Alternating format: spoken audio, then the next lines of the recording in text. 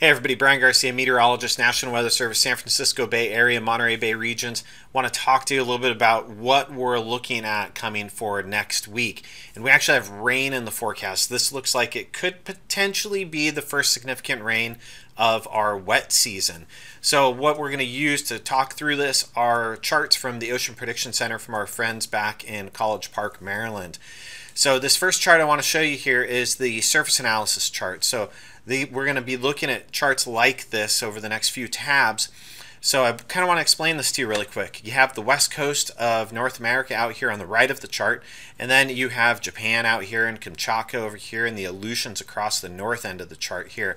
And then it has all of the L's for areas of low pressure and H's for area of high pressure. And then we'll be talking about fronts as we go through this. So this is the current surface analysis from earlier today today being Thursday evening.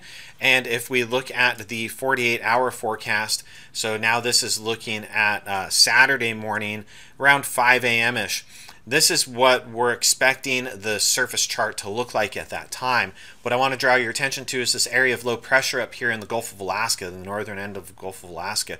This area of low pressure is going to be diving south into the southern parts of the Gulf of Alaska and pushing a couple fronts through with it.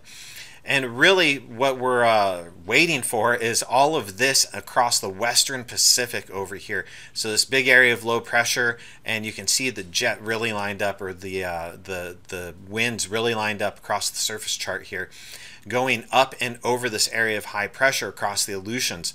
So a lot of moisture is getting tapped into off the Kuroshio current out of uh, the northwest Pacific and out across the Aleutians, really driving a lot of moisture down into the Gulf of Alaska, joining in with this low. And if we go out to Sunday morning, we can see by the time we get to Sunday morning, that area of low pressure in the Gulf of Alaska really starts to take shape and has a really nice occluded front and cold front coming down through here. But it really has all of that moisture coming out of that uh, that area of high winds, the the the really tight area of winds across the North Pacific. So that's going to drive a lot of moisture across the North Pacific in towards our region. And just from that source region, it tells me that this is not your classical atmospheric river.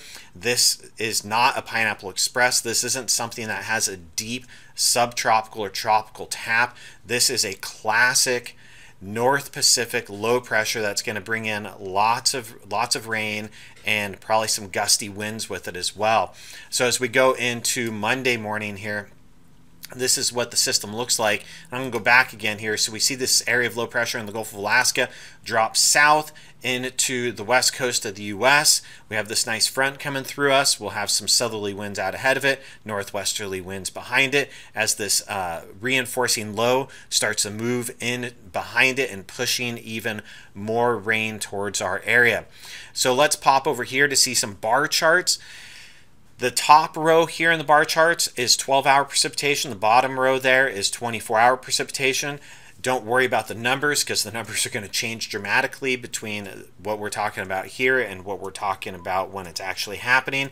What I want you to see is that we really go from nothing out here uh, over the weekend, really beautiful weekend coming up, to actually seeing precipitation come into the region as early as Monday morning. And so this site that I've picked for these bar charts is right downtown San Francisco.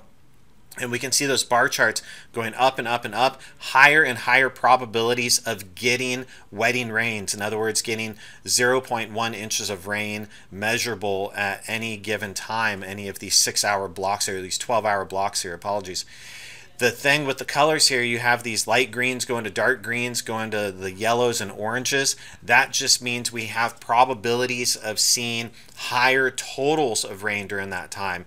It doesn't mean that we have high probabilities of very low probabilities of it, but it's still within the envelope of potential. So something we're going to be watching. And the next thing to look at is look how far out these bars go, well out into later parts of next week and even into the following weekend. And so uh, we could be in a wet pattern for the next seven to 10 days, something we're going to be paying attention to closely. So as you get prepared for this, make sure that you set up yourself, take care of yourself, make sure you take care of each other, and by all means, please be good to one another. See everybody. Bye.